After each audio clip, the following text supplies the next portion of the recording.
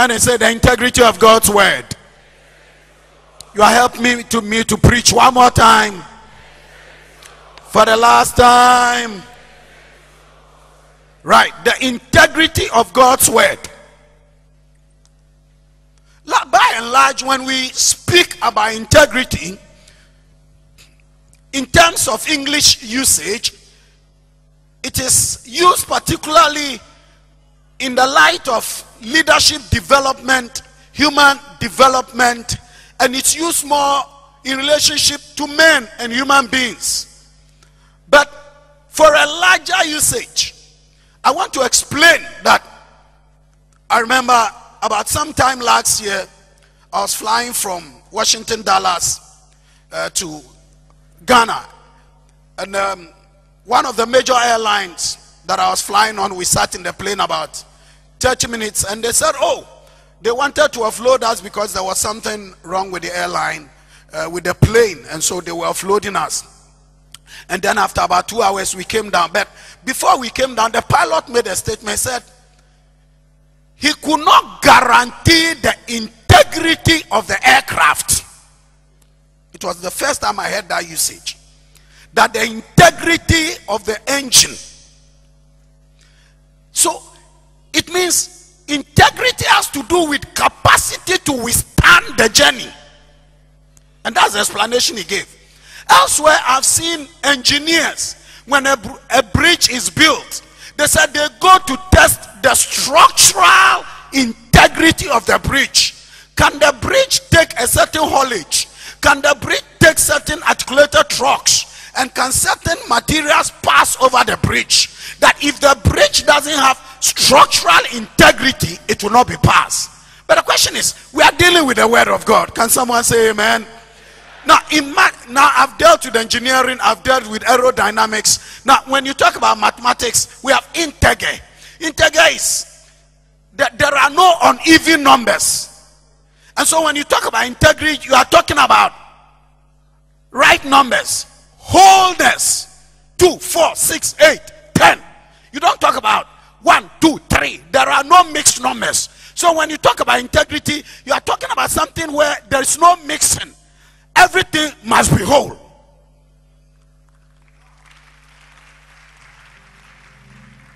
So that gives me a preamble to the message integrity of God's word. We are looking at the wholeness, the base, the soundness, the fullness of God's word. Let me read you something from a newspaper that sets a platform for the message. And this is Monday, 18th March, page 41 of the Daily Graphic. Monday, 18th March, 2013. And then you understand what we are doing here. And the topic says, Christianity is not about miracles. Professor Adei. Christianity is not about performing miracles and wonders, which have become the order of the day, says Professor Stephen Adei, former rector of GIMPA. Professor Adei expressed regret that Christians of today were defining spirituality by the wrong measure, saying spiritual persons were not those who performed wonders and miracles, but those who behaved like Christ and followed his word.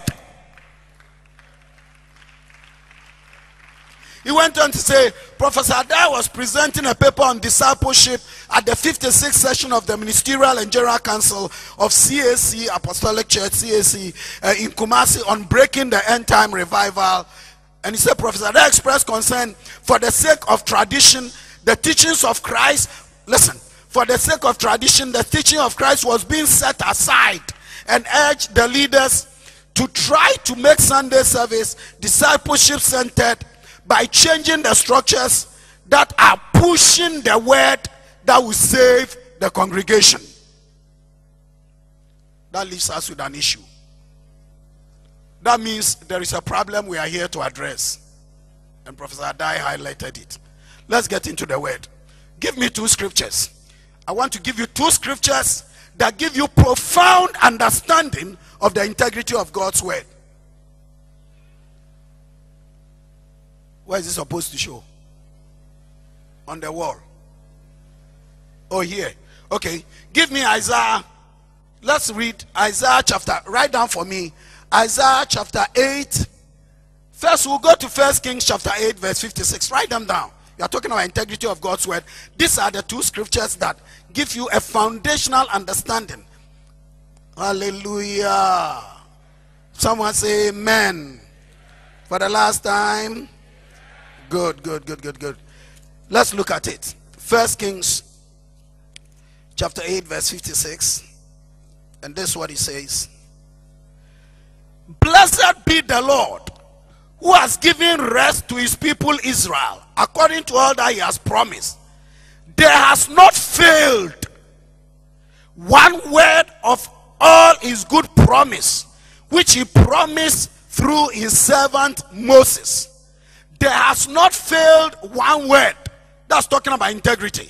There has not failed one word of all his good promise which he promised through his servant Moses. Now I want to give you another scripture that back to back from Genesis to Revelation gives you a solid understanding of the integrity of God's word. And that is in Isaiah 8 verse 20. Go with me please. Isaiah 8 20. And please note that scripture. At the end of this conference, it may become the clarion call. It may become the scripture that will rule the whole conference. Can I hear amen? I said that scripture is going to become the governing verse. Go with me to Isaiah chapter 8, verse 20. Look at it. To the law. If you have ever believed God's word, this is the scripture. To the law and to the testimony. If they do not speak according to this word, it is because there is no light in them.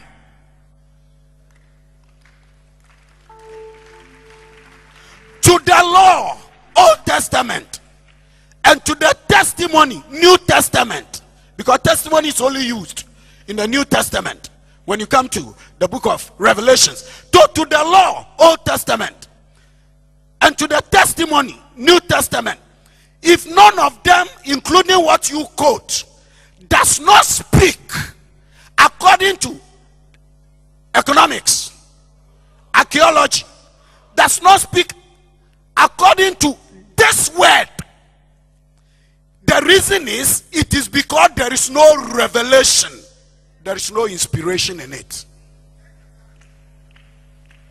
So it means everything we are teaching about the integrity of God and the integrity of God's word must be founded on this word.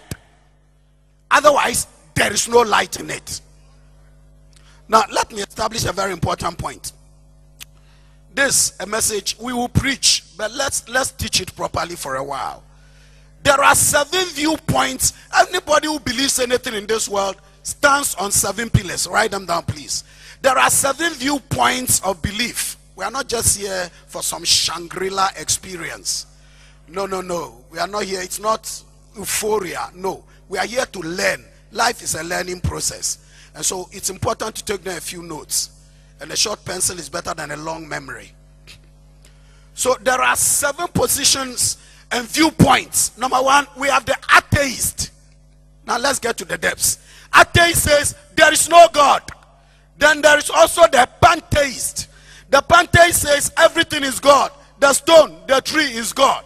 Then we have the heathenist. The heathenist worships idols, sacrifices, that's why you have the groves and the shrines. Then we have the modernist. The modernist worships fashion. They are Epicureans, happy-go-lucky. And they say God is dead. That's the modernist. Today we have also the postmodernist. The postmodernist says anything goes. Relativism. Situational ethics Whichever way I feel is what I do. That is the postmodernist. They believe in universalism. And today we have Chrislam, a combination of Christianity and Islam. And it's a postmodernist position. Then we are post-Christian. That is the cynics. And so oh, the world and the Bible go together. But finally, there is the Christian viewpoint So we are not here about the atheist. We are not here about pantheism. We are not here about heathenism. We are not here about modernism. We are not here about postmodernism. We are not here about post-Christian. We are about here about the Christian viewpoint. Give the Lord a hand. So now that we've seen the Christian viewpoint, the six viewpoints that define Christian position, I want to move on and show you from there, out of the Christian viewpoint and the word. We'll come into the word. Four influencing factors. Wherever you see the word, there are four factors from Genesis 1 to Revelation chapter 22. There are four major influencing factors that move the word. Number one, the word of God is creative. We are talking about the integrity of the word. And we see that in John 6 63. The word is creative. The word of God can create. Hallelujah. I said the word of God can create. Number two, the word of God is prophetic. I read somewhere that prophecy is history pre-written. Can you imagine? History is supposed to be something that happens and then we write after. But I read somewhere, somewhere said prophecy is history pre-written. History that is written before it happens. Oh, give the Lord a hand. So the word of God is creative. The word of God is prophetic. Isaiah 55, 8, 11. And the word of God is powerful. We see that in Psalm 138, verse 2. And the word of God is finally an incorruptible seed. The force of life is in it. The word of God is self fulfilling, it doesn't need external aid. Now, I'll get into the word, but let me share a few things about. When we talk about the integrity of God's word, to teach it beyond, put it beyond any shadow of doubt, there are a few things that come into integrity. The integrity of God's word comes from God's own infallibility. Because God is an infallible God, a God who is not given to deception or error, then his word can also be a word of integrity. Because God cannot make mistakes. According to Malachi 3 6, I'm the Lord, I change not. We change, he doesn't. And so, out of his position of infallibility comes his structure of integrity. So, out of the word we have infallibility, then springs integrity, then comes also words like inspiration. Then we also see inerrancy. Inerrancy means this Bible is not subject to any error. Inspiration means it is not from the United Nations but from God.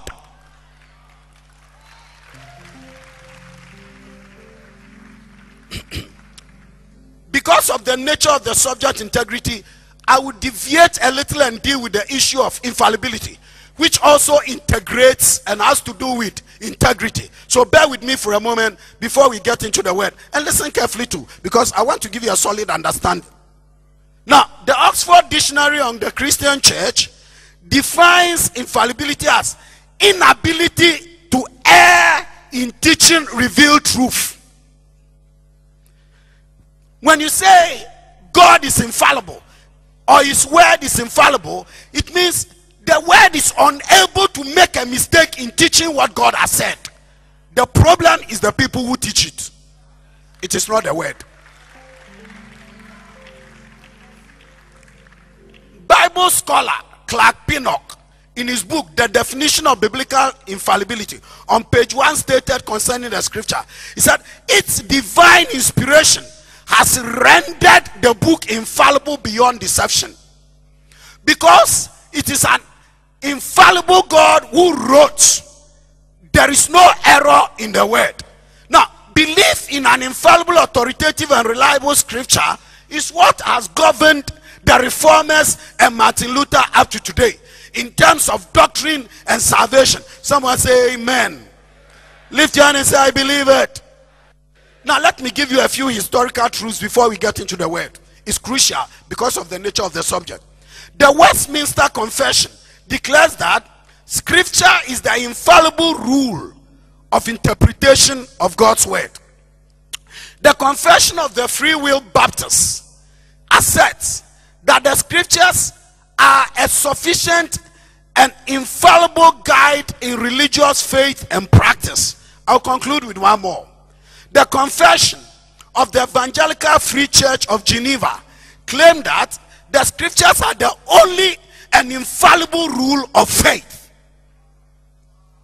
Who didn't clap?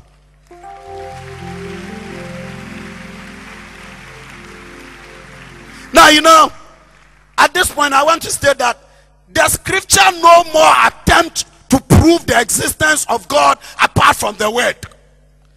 The Bible doesn't try to prove who God is. It just states that God exists. It doesn't try to make you believe or not believe. In the beginning, God. Take it or leave it. Give the Lord a hand.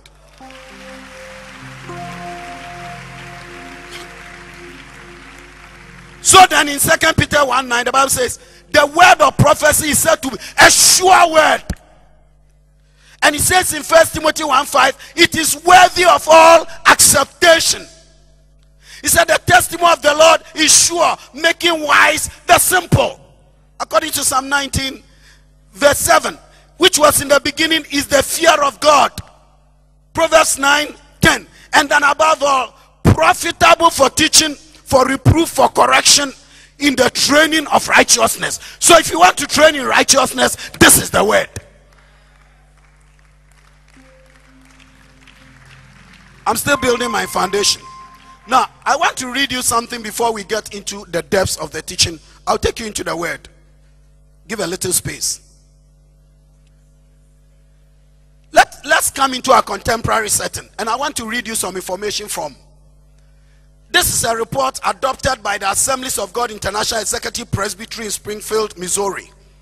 In May 1970, upon the instruction of the General Presbytery, in dealing with integrity inspiration, inerrancy, and the infallibility of God's word. They had a major conference. And let me tell you what it said. It said, We believe the Bible is the word of God written, and it is the revelation of the truths of God connected by inspiration through his servants to us. He says, as such, it is infallible and without error. Now, the AGM document also stated that the critical issue of integrity, inerrancy, inspiration and infallibility go together. Now watch it. Article 3 of the same document said, we understand inspiration to mean the spiritual act of the Holy Spirit by which he guided the writers of the scriptures. As such, we define inerrancy as meaning exemption from error or untruth and infallibility to mean incapable of error. So then, the Assemblies of God document said inerrancy deals with truthfulness, and infallibility and integrity deals with trustworthiness, which means the word is truthful and the word has no error. Now, we are going to later apply it to those who preach it. Now, if the word is infallible and the word is inerrant and the word has integrity, where are the gaps and the cracks? Why is it that things go wrong? Now, the bottom line is this. The International Council of Biblical Inerrancy at a meeting in Chicago, October 78, said that the scripture is without error or any fault whatsoever. Now, I'm going to navigate from there to show you exactly what I mean. So the scripture state that God has provided for his church. Write this down. So, to be able to prove the integrity of God's word, God has put down certain structures that undergird the integrity of his word. Number one, that the word itself is an infallible scripture. Acts chapter 20, verse 32. The second position God has put in place to undergird the integrity of his word is Christ unending high priest in heaven. He didn't leave us a word and close the door. No. He's there watching over his word to perform it. Uh, and I want you to know what God has said about you will come to pass. Hallelujah. So Christ unending high priest in heaven. Hebrews 7 22. Now let's go to number three. He has also given us the provision of the Holy Spirit who guided the apostles into the truth. John 16. Two more, and then we change direction. Number four, the Holy Spirit who gifts the believers for the work of the ministry. We are talking about the integrity of God's word. The Holy Spirit gifts the believers for the work of the ministry, including teaching. What is the integrity of God's word? Romans 12, 3 to 8. And finally, in fighting, now, now, you will love this. Give me a wave. I want to make sure you are hiding somewhere there. Great. In fighting against error, in Paul addressing the church leaders in the city of Ephesus, he does not commend them to the apostles. No, he said, I commend you to God and to the word of his grace. So, yeah, blessed are those who clap.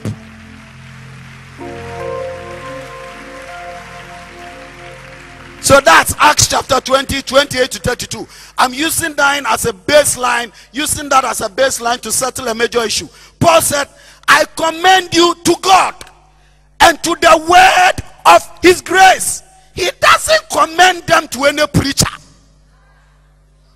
So no preacher is higher than God's word. Oh goodness. You are either clapping or you are not clapping. There's no middle road. He said, take it or leave it. Now, I, I, I, want to just give me some space to build this thing well. Because the structure we are putting up is a very big one. I want to take you into a little Latin to explain the word integrity. And I want to use a word that Martin Luther used. It's called sola scriptura. Sola scriptura is that the word, and that is what he used to fight the Catholic Church. That's, that's what he used and it is a word that is still very strong that helps to understand the statement about integrity and the infallibility of God's word. S O L A, sola. And then scriptura is from scripture. It means scripture alone. Sola scriptura in Latin means only scripture and nothing else. You can't add tradition. No, no.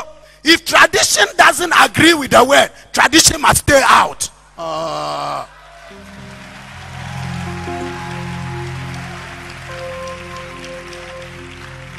So now, listen to, we are talking about the integrity of God's word. So the phrase sola scriptura is from the Latin. Sola has the idea alone, ground, base. And scriptura means referring to scripture. So in the Latin, when Martin Luther used it, as we may use it today, sola scriptura, it means scripture alone. Don't try to add to it. Don't try to take from it. And that was what the Reformation was all about.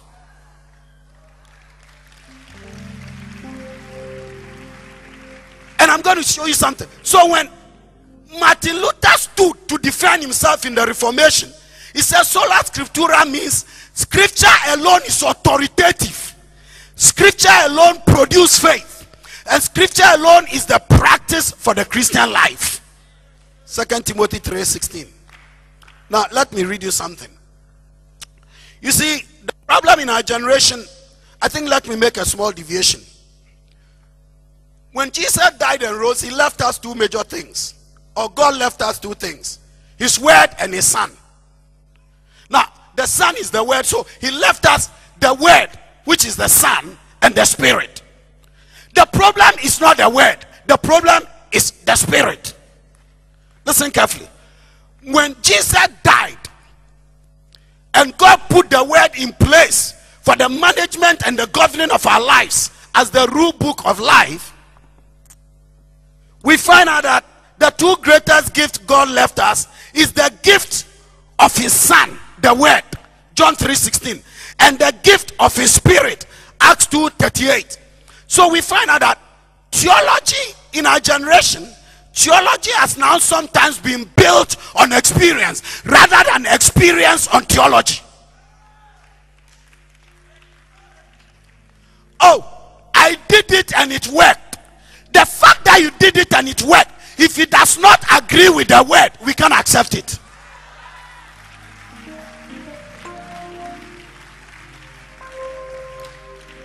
Enti sɛ wohyɛ nkɔm na mu na ɛne onyame asɛm nyɛ adwuma a na ɛyɛ nkɔmfo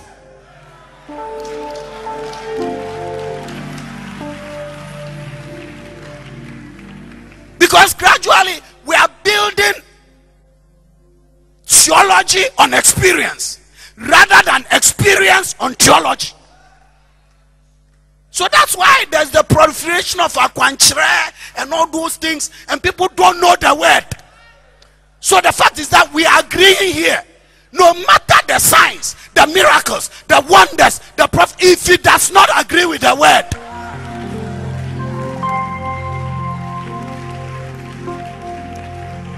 so that's why we will agree in a community that Isaiah 8:20 to the law and to the testimony. If he does not agree with this word, then there is no light in it. Give the Lord a hand.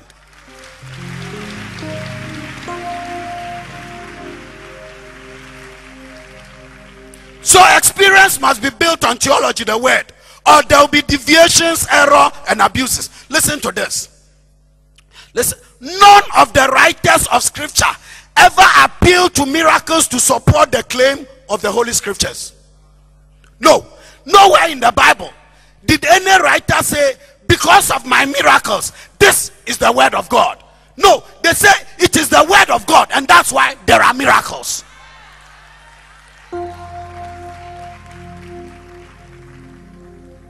So we preach and do miracles and point to the word.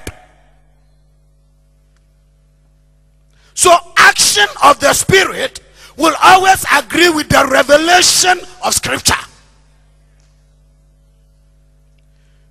You know what? The challenges of history is still with us. Contradictory practices, prayer to saints, worship of angels, crucifixion of persons in Asia at Easter, infant baptism, things like that, which may not be justified immediately in scripture. Now let's go to Acts chapter 8. Let's hit the road running. Acts chapter 8. Acts chapter 8. Look at someone say sola scriptura. Tell them the word only is the foundation for my life. Look at someone in the notes and say the word and nothing. If I were you, I'll be clapping.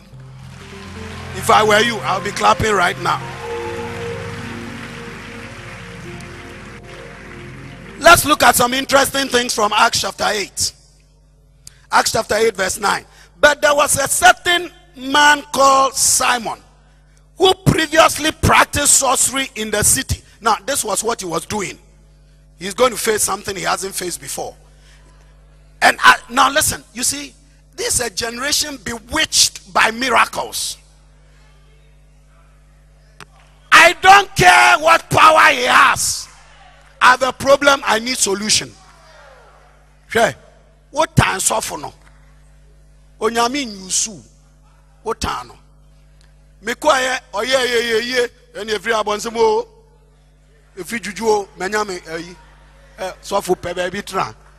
so people don't really care where the thing comes from and we are saying no it doesn't work like that wherever it came from it must agree with the word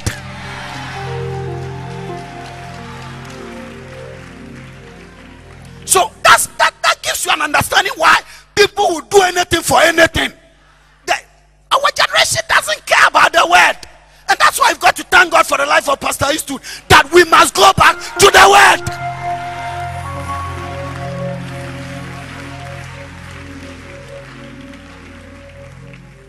Because if you look at the body of Christ today and the things that people use, that these days we have tiger knot in the church, we have banana that is being given out. Oh my God, it's too much. We have a whole lot of things, and the members don't care a hoot. What matters is that the end justifies the means. And God says, No, the means and the end must be the same. Uh,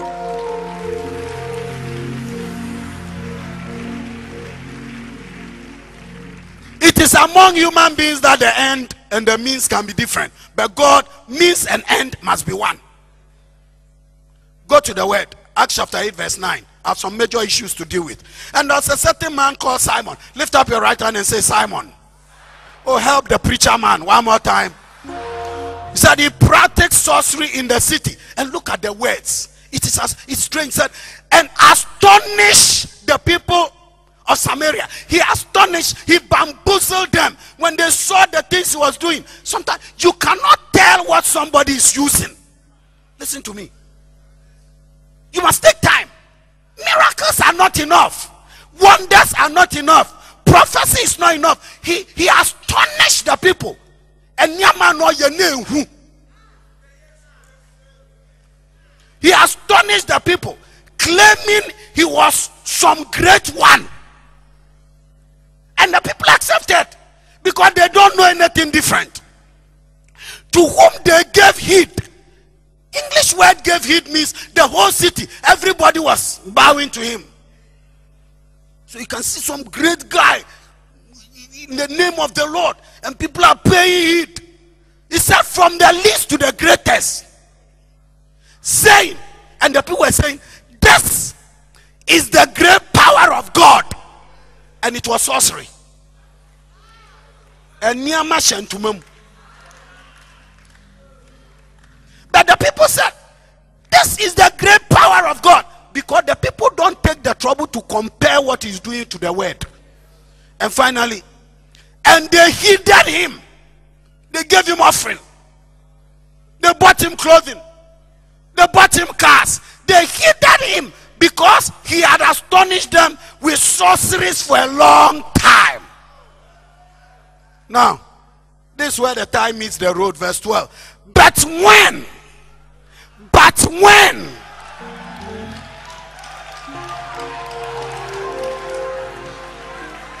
I declare after this program, God will give you an upper hand. Oh, yeah, yeah, yeah. You will know the word, you will have the power of God.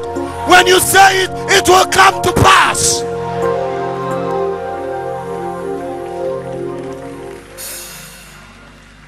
You see, until we go to prove the right thing, they'll be calling the shots.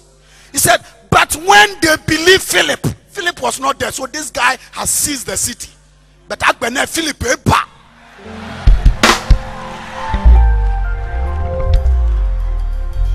nke philip eba maami gbakọ ọba na champion. Oh give the lord an amen. Oh my god give the lord a shout for free.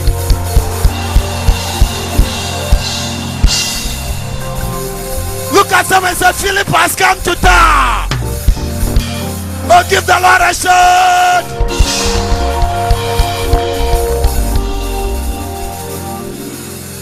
Please be seated. Please be seated. But when they believe Philip, if what you are doing is what I'm doing, there's no difference. But now Philip has come. Wokɔ so a ho agbɛnɛ philip ba nnwumafuo da onyame nkasa ho. Afei you wait till i take you to the last scripture. You won't sit on your seat. When philip came to town then we see the difference. After this program we will see the difference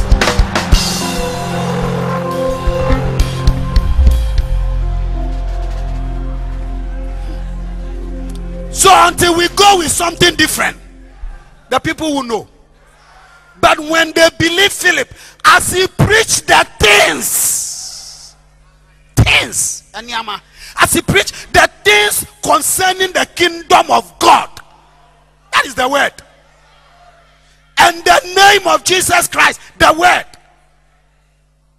Then, verse 13.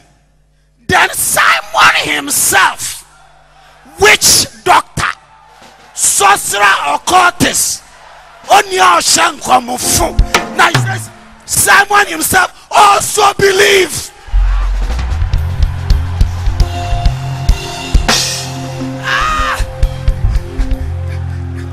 I declare after this program, magicians will believe, native doctor will believe, Babalawa will believe. Give the Lord a shout.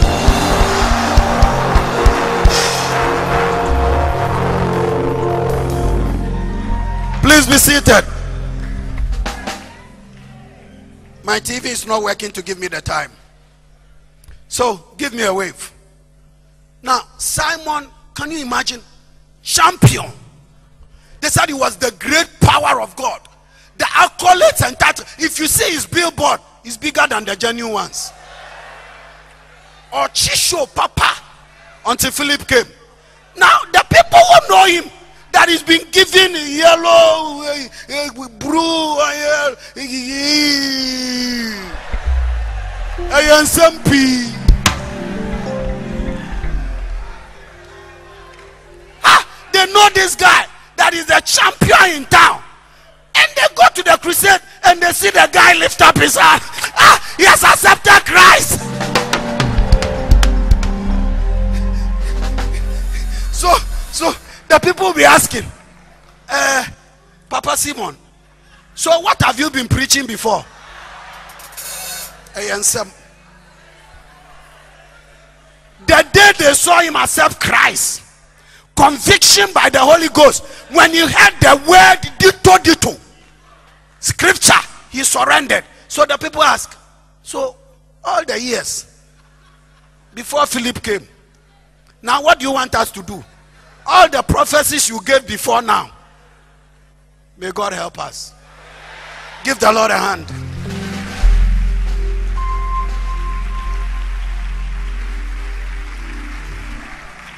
Who is not clapping?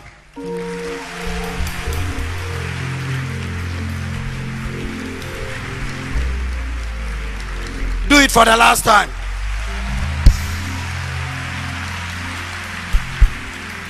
So then, sola scriptura, the word is the final authority. That is what makes sorcerers to surrender.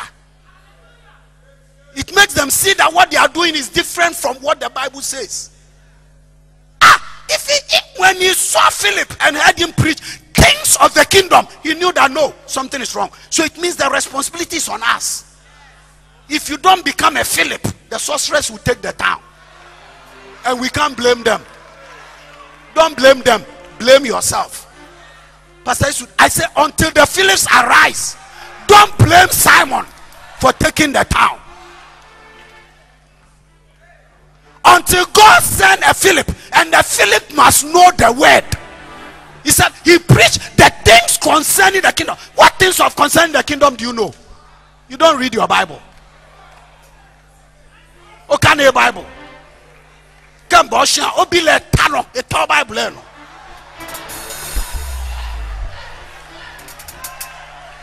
meba wo fie a wo ba three years. Philippians four nineteen wa ti afiri baịbụl ɛhyɛ e, n'anum ɛhyɛ n'anum.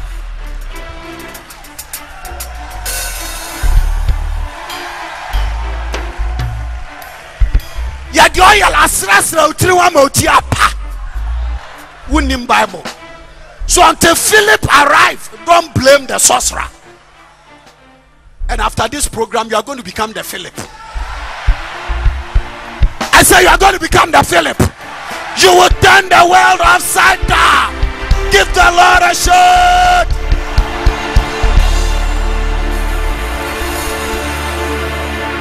Hallelujah. Please be seated. Now listen to this. Maybe let, let me know my time. It's important. I don't want to fly blind. When the Roman Catholic Church threatened Martin Luther with excommunication and death, if he did not recant on the integrity and infallibility of the word, he responded. Listen to Martin Luther. Unless, therefore, I am convinced by the testimony of Scripture or by the clearest reasoning, unless I am persuaded by means of the passages I've quoted, unless they render my conscience bound by the word of God, I cannot and will not recant, for it is unsafe for a Christian to speak against his conscience. Here I stand. I can do, I can do no other. May God help me.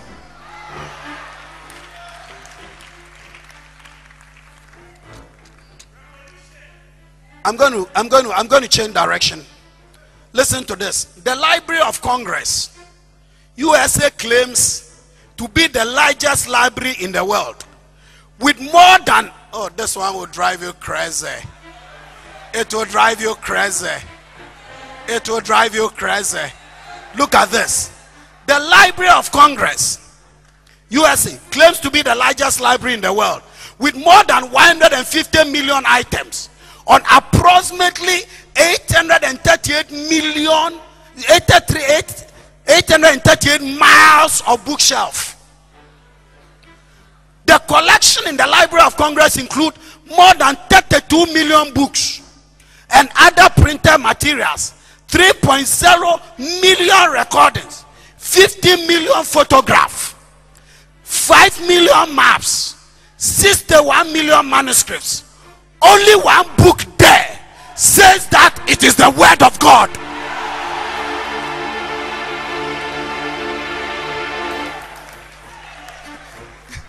Listen, it's in your interest for me to repeat it. Sit down and take it before you stand. The Library of Congress USA claims to be the largest library in the world with more than 150 million items on approximately 838 miles of bookshelf. Miles. 838 miles, million miles. 838 miles of bookshelf. Collection include more than 32 million books.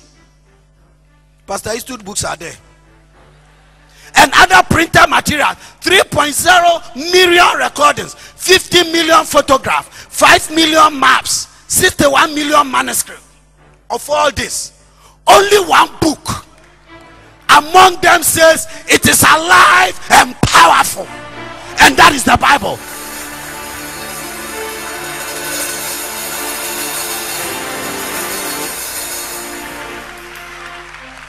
The Bible says it is quick. When I say it, you say amen. It is quick. It is sharp. It is powerful. Give the Lord a big hand.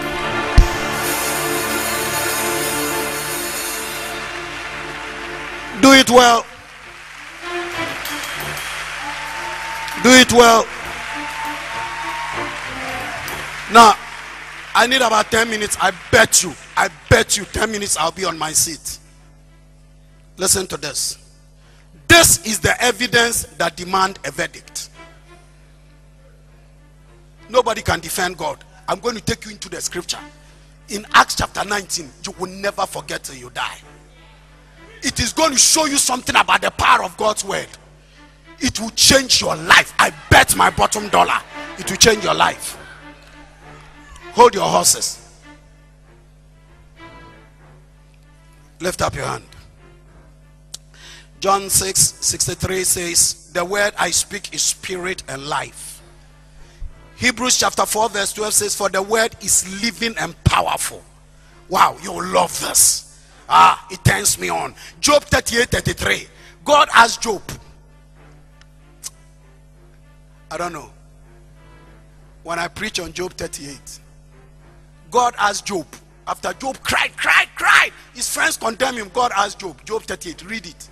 He said, Do you know the father of rain? You see, because of your boss, you are crying. Ensure winning papa.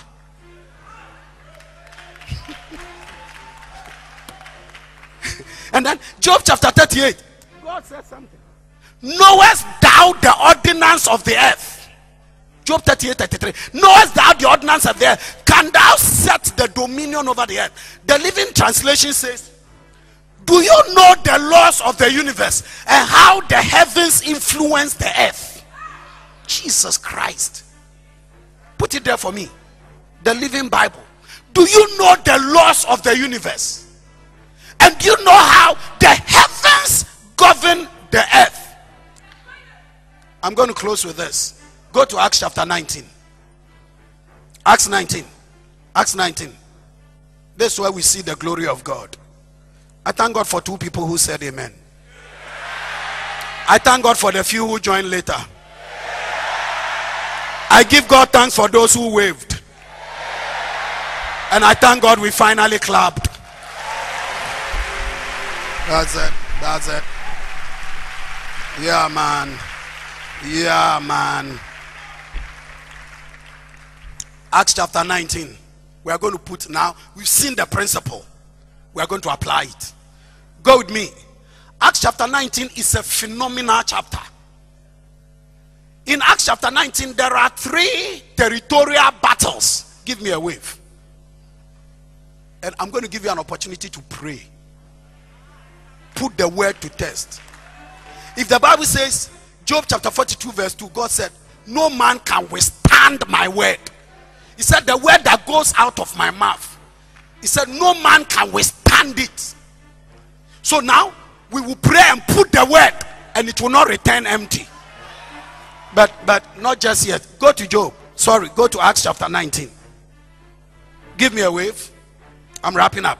Acts chapter 19 gives us a unique and peculiar picture of the spiritual battle and how God's work prevailed at three levels. Acts chapter 19 is an El Clasico.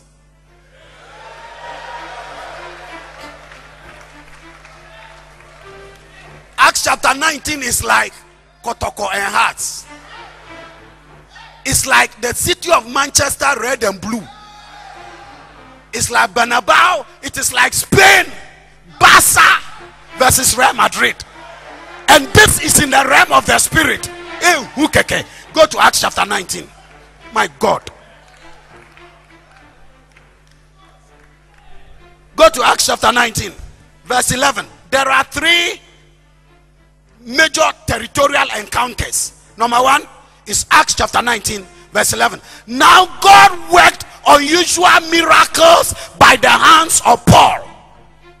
Note that. So in Acts chapter 19, it was God alone. Man was not part. God independently did it. In Acts chapter 19, verse 11, he worked miracles. The Bible says aprons healed the sick, lepers were healed, the demons were cast out, and it was God unilaterally. So Satan will say, God, Obama no. Mfoda. I didn't face you, so you rode over town. Acts chapter 19. So the first territorial encounter in spiritual warfare was in Acts chapter 19, verse 11, and it was God alone. Go further. Go to the next stage. My God, my God, my God, my God. Now we come to the second territorial power encounter. Hallelujah. Now go to Acts chapter 19. So, number one, say number one. So, number one, verse 11, God alone. Number two, Acts chapter 19, verse 13. Then some of the exorcists, Jewish exorcists, took upon themselves to call on the name of Jesus and they said, We exercise you. So here he said, We exercise you in the name of Jesus whom Paul preached. Now, verse 15, he says, verse 13, also the seven sons of Sceva. Sceva, a Jewish priest who did so. The evil spirit answered.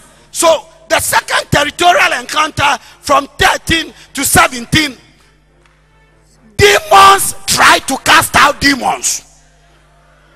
Light darkness was fighting darkness. You see, in the first encounter in verse 11, God was glorified. In chapter 19, 13 to 17, when the sons of Sceva demonized people, tried to cast out an evil spirit, even there, that they said God appeared and he said, Jesus I know, Paul I know, the name of Jesus was still glorified.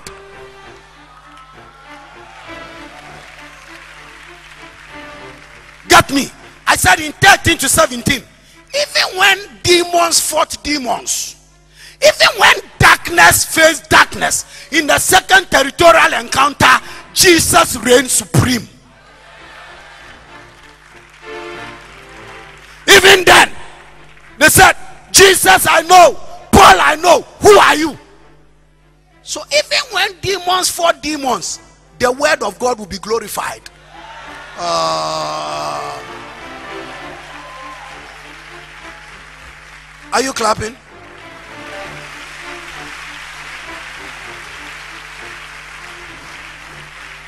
And now, because we are talking about the integrity of the word, I'm showing you three things. One, and the Lord did mighty miracles in verse 11. Then 13 to 17. So the first one was all light, God alone. Then 13 to 17, darkness versus darkness. Still, Jesus was glorified. Now we are going to see later in the chapter darkness versus light. Now, for those of you who are not convinced, look at verse 20. Verse 20. Verse 20. So the word of the Lord grew. Hey, since when did the word grow? So the word of the Lord grew and prevailed. So what it means is that whether there are demons, there are evil spirits, there are oh no no, I think I'll go to this side. I'm not coming back here. I am not coming back here. So whether they are demons, they are evil spirits, the word of the Lord will grow. I said the word of the Lord will grow and the word of the Lord will prevail. Oh, come on, leave your seat and begin to move and shout and say, The word of the Lord will grow and the word of the Lord will prevail. So, from today, say, From today, I declare the word in my mouth, it will grow, it will prevail against demons, against evil spirits, against witches. The word of the Lord after this conference in my mouth, in my life, in my ministry, the word of the Lord, it will grow, it will prevail, it will grow, it will prevail. Give the Lord a shout, it will grow.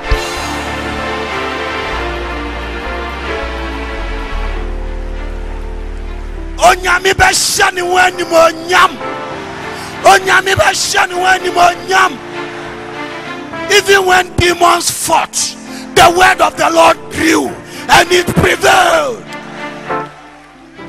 Be seated for the last time even when demons fought demons the word of the lord grew and it prevailed. What? Five minutes. Give me a wave. You know you know look look at something. Go, go to the word as we wind up.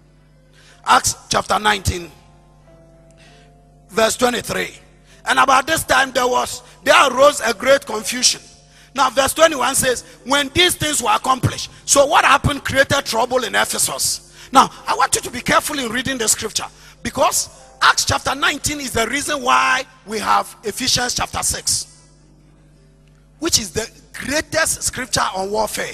It was born out of Acts chapter 19. And Paul was followed by Timothy to Ephesus. Timothy became the first bishop of Ephesus. Out of this verse. So all the great things we learn about spiritual warfare is based on this battle I'm going to read. That Timothy became a bishop out of. And the scriptures in uh, uh, Ephesians chapter 6 was chronicled for us. It was born out of this titanic battle. Listen to this. The last verse in 23, way down. So we've seen three levels where we close. Number one, Acts chapter 19, verse 11, uh, verse 11 God alone prevailed and he did many miracles. We come to 13 to 17. Darkness fought darkness, demons fought de- demons, and still God was glorified that one of them said, Jesus, I know, Paul, I know, who are you? The word of God still prevailed. Then, when we come to 23 down, the third territorial spiritual encounter, we find out. You see, when Paul came to Ephesus, as I close, when Paul came to Ephesus, Ephesus was the center of the goddess of Diana, and his, her other name was Artemis, and it was one of the seven wonders of the world. She was a powerful force to the point where they had a trade union. Look at it as we close. Look at it. Look at it. Verse 24. For a certain man named Demetrius, a silver spring, who make silver shrines for Diana and brought no small profit. You are talking about the word. Craftsman, he called together when Paul came, this man who had a trade union, he called them together with the workers of similar occupation and said, Men, you know that we have prosperity by this trade. So it means wherever the word of God goes, people are threatened. They said, We've made money by this trade, and this man has brought another God we don't know about.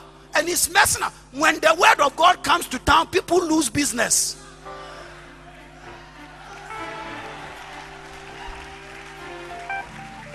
I say, when the word of God comes to town, grottos, people who sell talisman, they sell. It's because our generation don't know the word. The Bible says when Charles Finney comes to town, when you read this chronicle, when he comes to town, all beer bars will shut down. And I declare after this program, all those who do diabolic things will shut down. Uh, they will shut down. And Paul fought. That's why the Bible says, and he fought the beast of Ephesus. This is the scripture. He fought the beast of Ephesus. And listen, Diana and the goddess Diana, the temple of Diana in Ephesus was a big business. It was an international business. It had a bank, it had a trade unions guild, which Demetrius was the chairman. And so when Paul came, they didn't like it. And they had a one month international festival. People from the whole of Asia descend on Ephesus to worship Diana. And Paul appeared.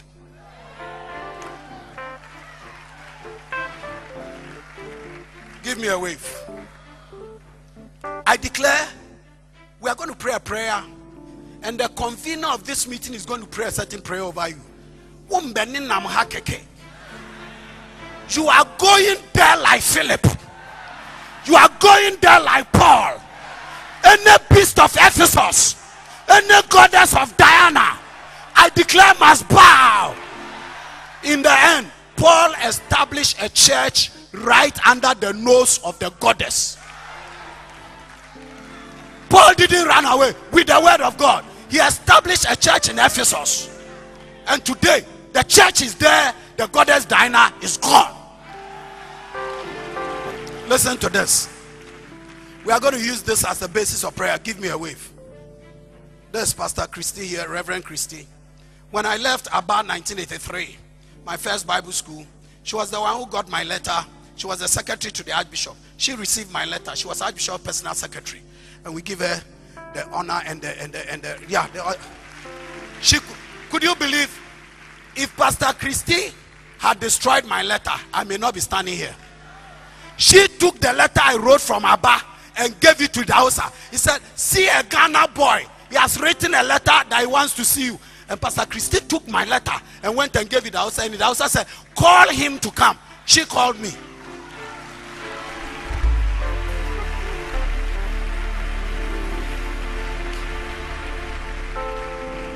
I'm going to send her a big offering.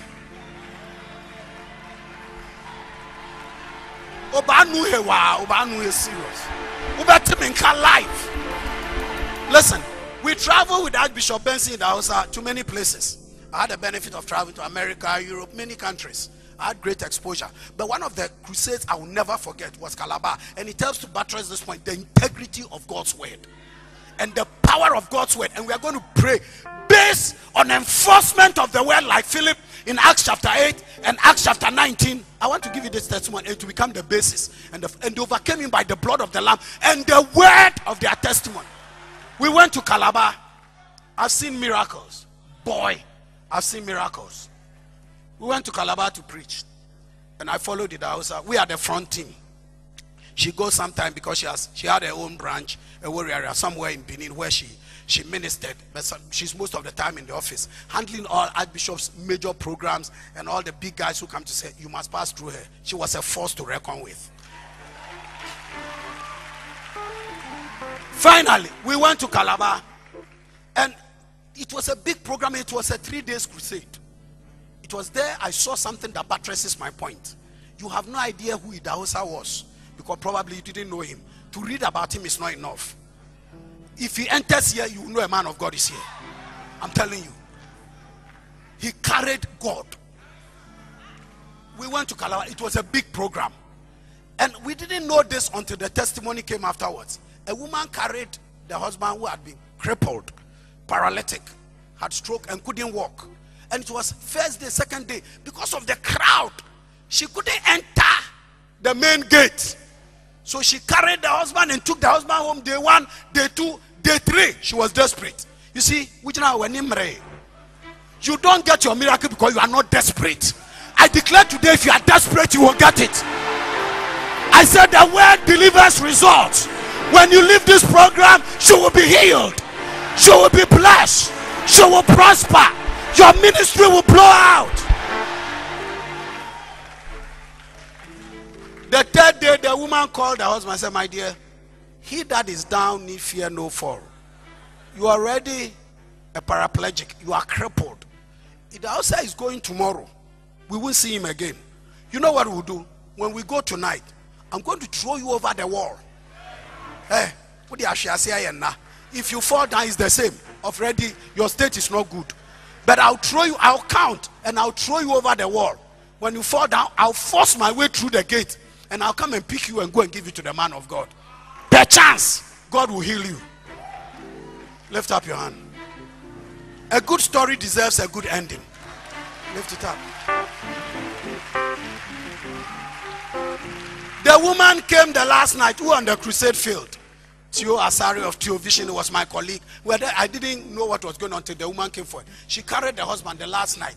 When she came, you are talking about the integrity of God's word. God's word cannot fail. God's word cannot fail. I said God's word cannot fail. And God cannot fail you. You will surely marry.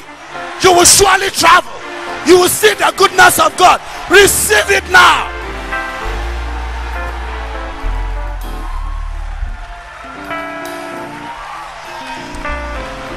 You know what? She came the last night. She counted the blocks. One, two, three, four, five, six, seven, eight, nine, ten. He said, My dear, I'm throwing you on the 10th block into the crusade ground. It was a stadium. Wherever you fall, when I go in, I'll count and take you and carry you to the house. He said, Okay, after all, uh, she's al- already a comatose case. Carry the man, sail him into the stadium. She forced about 20 minutes and finally went in. She went there, there was nobody there. Has an angel stolen my husband? Has my husband gone to heaven? She was looking. She looked round. Said, My husband, my husband. She heard somebody tap her on the back. She turned, the man was standing. Ah! Eh! Oh my God!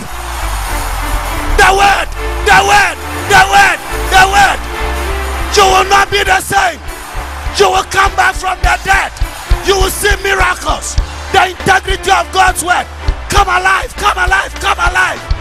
Come alive, come alive, come alive, come alive. Come alive, come alive, come alive, come alive, come alive. Give the Lord a shot. Hey, hey, hey, hey. Come alive. You will walk again. You will see miracles. You will see wonders. You will not die. You will not die. You will not die. You will not die. I command you to come alive. Philip is back. Philip is back. Torres is back. Drogba is back. But Philip is back.